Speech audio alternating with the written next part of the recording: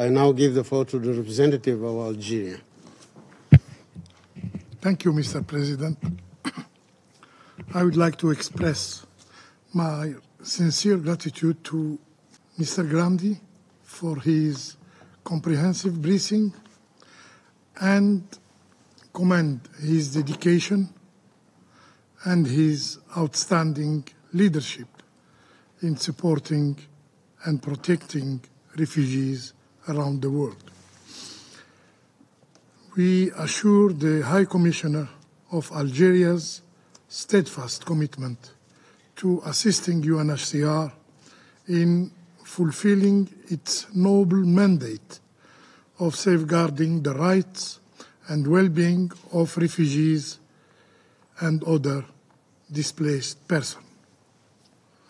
The issue of refugees remains one of the most significant and pressing challenges facing global humanitarian organization. As the number of the refugees continue to rise year after year, it places an increasing burden on the United Nations and its agencies. This burden is exacerbated by limited resources and donor priorities that often do not align with the urgent needs of this vulnerable population, the majority of whom reside in low and middle income countries, particularly in Africa. Host countries, despite their limited capacities and resources, bear the brunt of the cost and burden associated with displacement and they spare no effort in caring for displaced persons, regardless of their status. In this context, we stress the need for a comprehensive approach that considers all aspects and dimensions or to ensure optimal protection and assistance for this vulnerable population. We also emphasize the necessity of bridging the funding gap faced by various UN organizations working to support refugees. This requires collective responsibility and adhering to the principle of international solidarity and burden sharing. Mr. President, we condemn the grave violation against refugees and the biased media campaign that tarnish their image. Such action, such action threaten their physical well-being and expose them to inhuman treatment.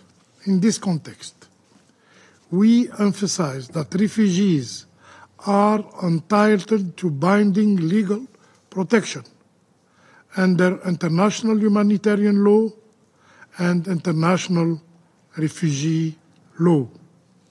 We strongly condemn the violation and deliberate targeting of the camps of Palestinians refugees in and displaced persons by the Israeli Defense Forces. Yes, the situation in Rafah is just one chapter of the systemic violence carried out over years of occupation aimed at undermining the resilience of refugees and eliminating their right of return as guaranteed by international laws and United Nations resolutions. Mr. President, for nearly half a century, Algeria has hosted Sahrawi refugees in the Tindouf camps, awaiting the international communities and especially this Council action to enable them to voluntarily return to their land after having exercised their inalienable right to self determination, which must be achieved through a free and fair referendum organized by the UN through the United Nations Mission for the Referendum in Western Sahara.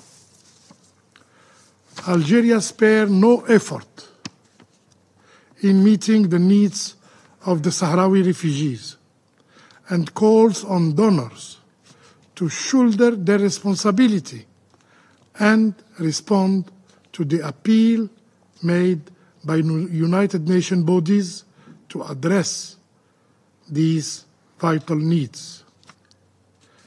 We renew our call to UNHCR to scale up its assistance and to follow the path of the World Food Programme and other international organizations.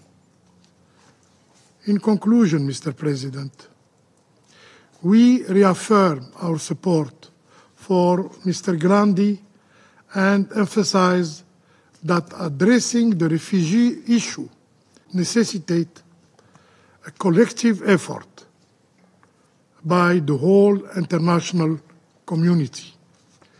This effort must align with the principle of solidarity and burden sharing, must tackle the root cause of displacement, and ensure the most effective assistance and protection for refugee and displaced persons. I thank you. I thank uh, the representative of Algeria for their important statement.